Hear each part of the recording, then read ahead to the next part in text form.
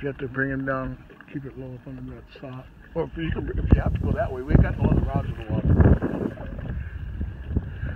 And then I'll get him in the back. We just had uh, four rods go, four rods out, four rods went down.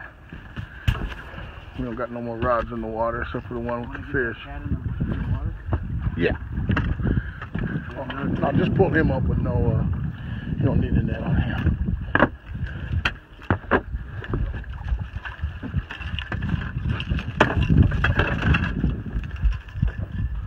white cat. We're keeping him.